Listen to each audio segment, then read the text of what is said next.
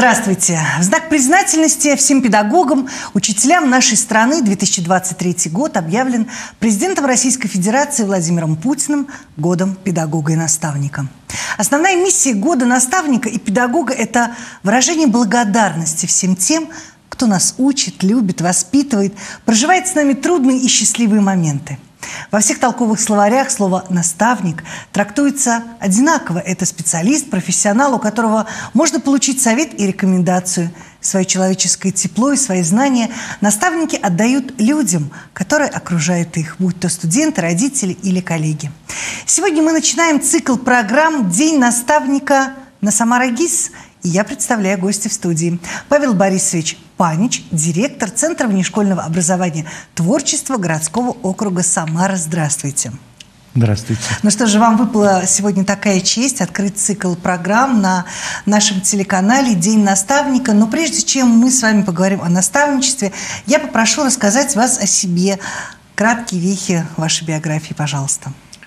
Спасибо большое за приглашение. Это большая честь для меня – и, э, знаете, то, что связано с историей моего вхождения в педагогику, это, это давняя очень история.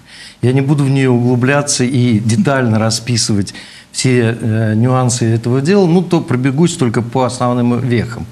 Э, в 1974 году э, я еще, будучи школьником, а, пришел во дворец пионеров Советского района а, города Куйбышева. Пришел в пресс-центр.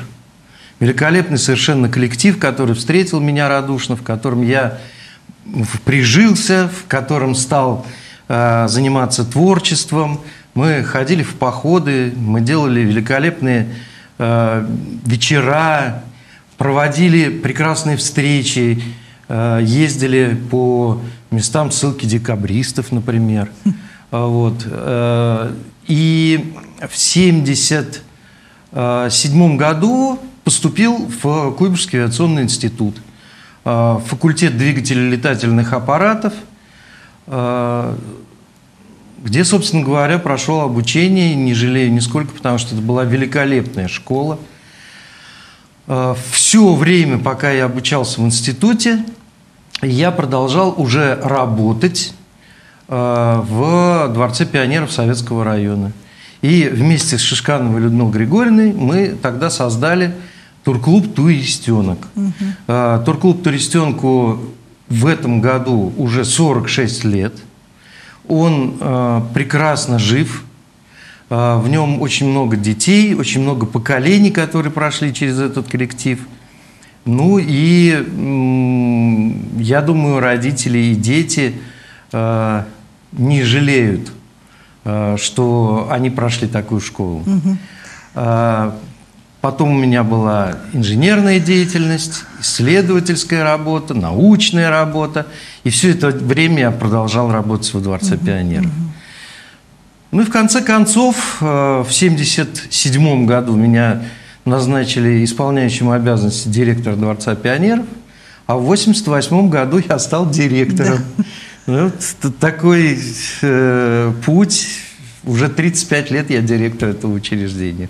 Но вот все-таки, а скажите, пожалуйста, Павел Борисович, почему вы эм, выбрали все-таки педагогику? Вы рассказали, с чего все начиналось. То есть, получается, душа всегда лежала к детям, к творчеству.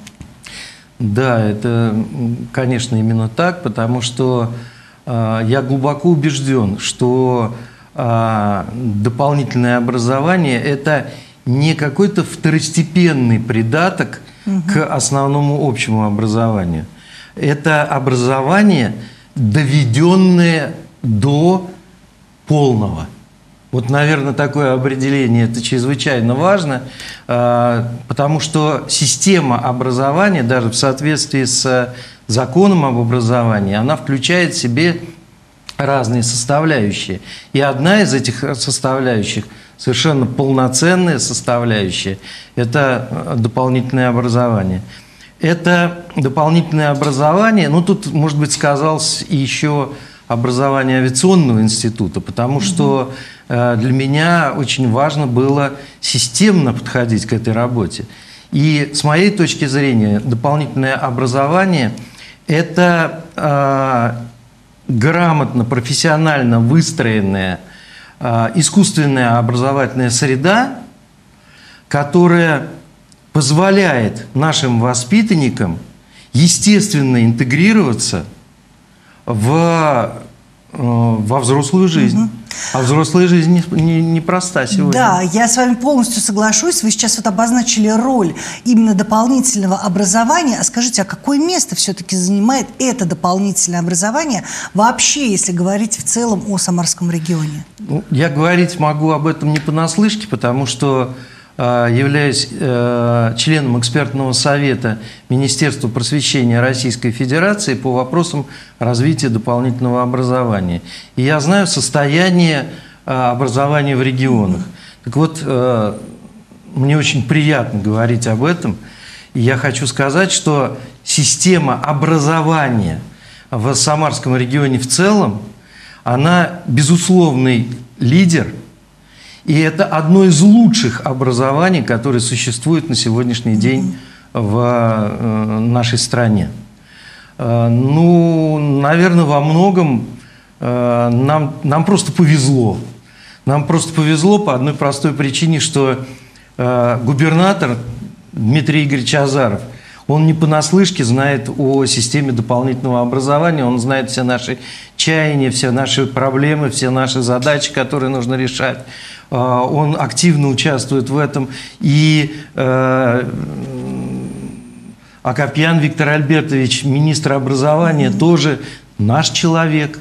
Поэтому э, я не скажу, что так уж безмятежно живется в системе дополнительного образования в Самарском да, регионе. Да, конечно, есть проблемы свои. Но нам сильно повезло. Угу, угу. Поэтому мы такие, поэтому мы лучшие. Давайте поговорим о молодых специалистах и поговорим о наставничестве. А, ваше мнение, зачем нужен наставник? А, ну, а, вы знаете, это абсолютно, наверное, а, прагматические интересы, которые у грамотных педагогов возникают в жизни. А, ну, во-первых, зачем наступать на грабли, если по этим граблям прошел старший товарищ? То есть, соответственно, э, учитывать в своей работе э, те ошибки, которые кто-то совершил, и предусмотреть э, таким образом деятельность, чтобы не совершать эти ошибки, это одна из тех задач, которые существуют у молодого человека – ну, еще, кроме всего прочего, э, наставник – это э, человек, э, который ведет педагога по жизни. Это человек, который показывает ему дорогу. И можно пройти путь каким-то неоптимальным путем. Да. Можно заблудиться где-то. Можно сделать какие-то лишние, ненужные совершенно движения – а рядом оказывается человек, который скажет, слушай, ну, давай-ка вот мы немножко подправим твое направление движения, и вот, вот она цель, постарайся к ней прийти оптимальным путем. А вот, кстати, ваше мнение, под крылом наставника можно идти бесконечно долго, либо все-таки наставник, а в этом и заключается его миссия, должен вот как-то немножечко отдалиться в какое-то время, и дальше молодой специалист пошел сам? А, ну, у меня вообще по жизни существует э, один из, э, одна из таких установок. Э, вообще-то людям не надо делать добро, если тебя об этом не просят. И в данной ситуации навязчивость э, по отношению к коллегам, к партнерам по работе, это, э, наверное, не тот путь, по которому нужно идти. Как правило, мы создаем условия, в которых молодой человек или молодая девушка, молодой педагог, они сами обращаются к нам с просьбой э, ну, как-то помочь, помочь оказать, да. оказать, направить, какую-то помощь угу. оказать. Вот э, это, наверное, правильно. Да. А расскажите, пожалуйста, Павел Борисович, а кого вы можете назвать своим педагогом-наставником? Был ли в вашей жизни такой человек? Э, вообще мне посчастливилось. Меня судьба свела с очень многими э, талантливыми педагогами, э, которые, которым я могу сказать громадное спасибо. Но были и в моей жизни великие люди. Собственно, и есть великий человек. Это Амнашвили Шау Александрович. Человек, который приезжал у нас в гости в Самару, ему было интересно э, посмотреть, а как же выстроена система образования в Самаре, и как его идеи, которые он закладывает в своей э, научной деятельности, своей практической деятельности, они воплощаются у нас в Самаре. Он приезжал к нам в гости в Центр внешкольного образования, встречался с нашими детьми, общался. По регламенту у него был заложен визит на 15 минут, ну, все было расписано, все было очень жестко. Так получилось, что он задержался у нас на 6,5 часов. Вот. Ну и, конечно же, э, я не могу назвать, не назвать э, своего э, друга. Мы стали друзьями. Это Бруднов Алексей Константинович. Это, к сожалению, он ушел из жизни в 99 году он э, не дожил до своего 51 года. А, при этом он оставил э, громадный багаж а, удивительных совершенно знаний и а, практических примеров того, как нужно выстраивать систему дополнительного образования. Бруднова в России вообще называют учитель педагогов дополнительного образования. Это не мое мнение, это общепризнанное мнение. Вот. Мы... Он тоже приезжал в Самару. Он тоже приходил в Центр внешкольного образования. Он также завис там надолго. Мы с ним общались. Я часто к нему приезжал на э, э, Люсиновскую, а до этого он находился на э, Чистых прудах. Он был начальником управления воспитания и дополнительного образования детей и подростков Министерства общего и профессионального образования России. Угу. При этом, ну, казалось бы, это э, ну, большой человек, к нему там, не попасть отнюдь нет. То есть я всегда Настолько приходил к нему, он принимал да? открыто, общителен. Угу. И э, вот те э, какие-то жизненные установки, которые он давал, они на сегодняшний день близки очень мне. И, и до вот, сих пор близки. И до сих Вау. пор близки, конечно. Да? И я просто не могу не процитировать да, пожалуйста. А, стихотворение Алексея Константиновича, которое, в общем-то, наверное, является квинтэссенцией его отношения к э, э, тому делу, которое было делом его жизни. Э, человек – как звезда рождается среди неясной, тревожной млечности. В бесконечности начинается и кончается бесконечности. Поколениями созидается, век за веком земля нетленная. Человек, как звезда, рождается, чтобы светлее стала Вселенная светлый человек, светлое отношение к тому делу, которым мы занимаемся. Очень большой смысл, кстати, заложен в этих строках. Каждое слово. Да. Понимаете, я поэтому заглядывал в текст, чтобы Каждое слово здесь было. А скажите, пожалуйста, Павел Борисович, вот те постулаты, которые вы запомнили э, от своих педагогов-наставников, продолжаете ли вы их нести э, уже в Центр творчества и доносить, самое главное, до специалистов, которые работают у вас? Я хочу сказать, что э, э, Центр творчества сегодня – это, это большой дом, это наш дом. И это часть, очень большая часть нашей жизни. Я говорю не о своей личной жизни, я говорю о жизни всех тех людей, которые живут в этом доме. А, это громадная армия педагогов. То есть вот цифры даже, вот просто цифры, если взять, да, у нас получается всего сотрудников 194, Педагогов, из них педагогов 128 человек. Понимаете? Угу. И э, все они э, с удовольствием шагают на работу. И когда мы проводим педагогические советы, когда мы встречаемся, когда мы просто общаемся в малых группах, каких-то творческих объединениях, то мы всегда помним одно. Мы работаем в, это в этом учреждении до тех пор, пока у нас туда с удовольствием идут ноги. Угу. Это, это очень благодарный труд. И это труд, а, который, в результате которого мы видим, что получилось.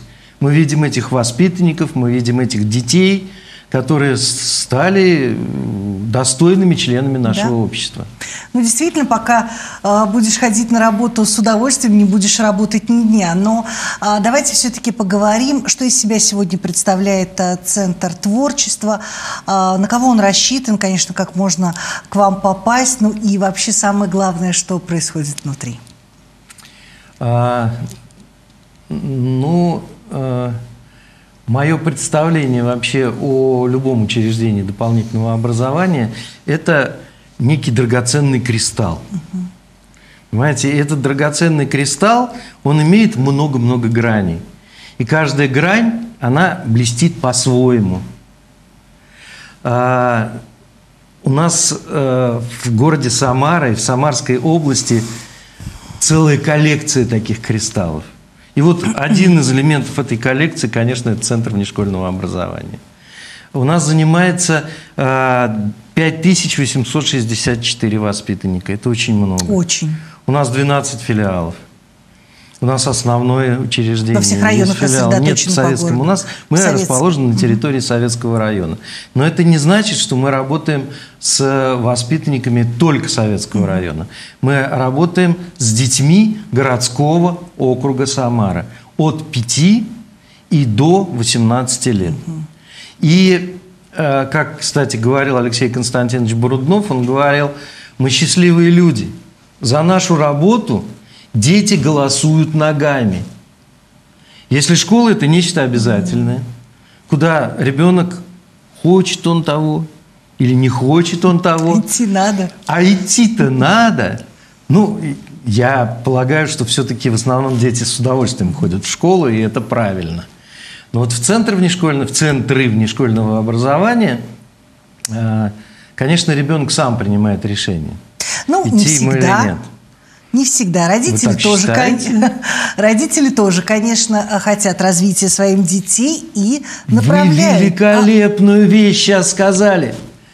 Родители, спасибо вам большое за то, как высоко вы цените Система то дело, которым мы занимаемся. Вы отчетливо понимаете, что вот это вот образование до полного, это чрезвычайно на сегодняшний день актуально и важно – Потому что школа дает стандарт.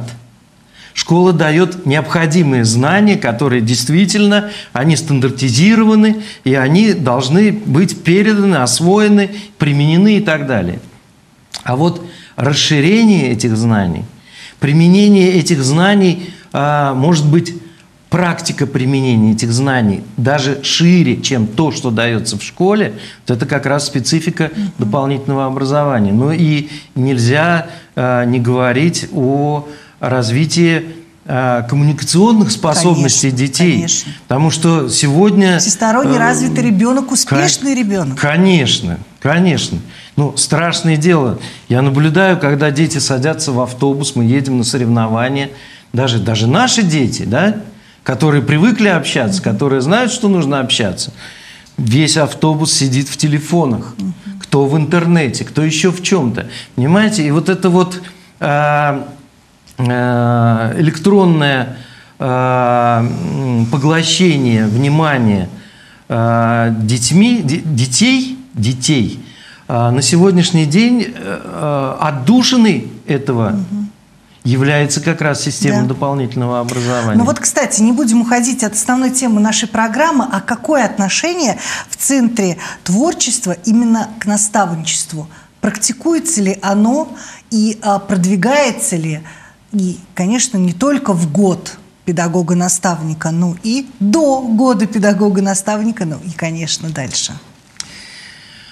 Ну, одно могу сказать, что э, в учреждении, в любом, не обязательно образовательном учреждении, э, нет, у учреждений нет будущего, если в этом учреждении нет молодых, если нет преемственности поколений, если нету передачи э, тех э, того бесценного опыта. Бесценного опыта, Конечно. да, того богатства, который сформирован многими годами. Поэтому вот то, что было в свое время сформировано во Дворце пионеров Советского района, а, светлая память первому директору а, Матяниной Людмиле Павловне, она великолепный педагог был, талантливейший педагог. И вот, а, вот эти вот отношения а, сотворчество, соучастие, они на сегодняшний день идут по жизни с нами. И э, ну, если говорить о э, каком-то конкретном формальном э, каком-то применении вот этой вот системы наставничества, у нас, например, есть программа наставничества. Да. Это, это очень серьезная программа. И в соответствии с этой программой э, не только молодые педагоги – не только молодые педагоги, а и педагоги, которые уже в возрасте, они включаются в этот процесс в качестве не только наставников, но и наставляемых. Угу. Потому что развитие – это все. Ну, Без развития дети сразу это почувствуют. И дети поймут фальш, дети поймут, дети да, намного конечно. умнее. А мне кажется, настоящее наставничество, оно и, а, да, как можно применить сейчас такое модное слово, в коллаборации молодые наставники и более опытные. Опытные передают молодым, а молодые чем-то учат и уже в возрасте людей подсказывают, может быть, какие-то современные новинки. Вот, кстати, вы, Павел Борисович, выступали в роли наставника? Понимаете, вот э, вы говорите о наставничестве, как э, вот, вот есть как бы два субъекта образовательной деятельности. Угу. Есть педагог. Вот педагог, он такой педагог. А вот это вот наставник – вот он наставник. А потому что смешалось вот. сейчас Совершенно... педагог и наставник в русском, а, да, настолько смешались, что люди порой не видят различий, и в нашем представлении означает суть вот одного и того же процесса – обучения и воспитания. А давайте все-таки вот поясните нашим зрителям, в чем все-таки заключается их отличие. Все, чем отличается отличие? Ну, во-первых, а, вся наша жизнь игра, сказал кто-то из великих. А, безусловно, а, педагог постоянно играет какую-то роль. И эти роли меняются. Он может играть роль педагога, он может играть роль наставника. И да, и великолепно совершенно, а, если роль педагога это, это то, что он передает им все знания, навыки, умения, все свое э, дело, которым он увлечен, которым он владеет. Это, это педагог. А наставник – это человек, который тоже играет роль. Э, и он подает руку помощи в сложных ситуациях. И он направляет на правильный путь тех, кто, может быть, пока еще обладает не всем объемом знанием, которым обладает этот наставник.